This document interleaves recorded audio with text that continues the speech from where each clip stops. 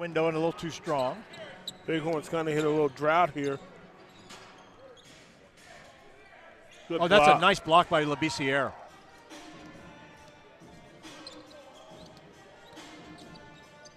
Labissiere straight on for the three. Wow. That's a- That a cross court tough pass, that, that's just waiting to be stolen, isn't it? Yeah, I, I don't care what level you're playing at. That's a tough pass.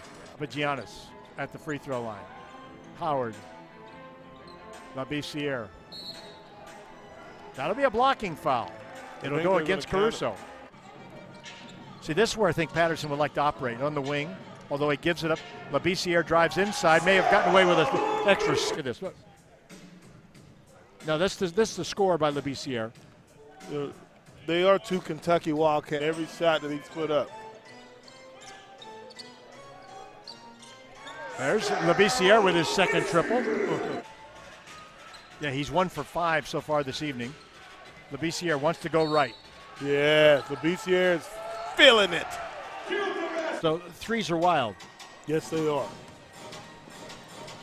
Cousins, Labissiere, long reach.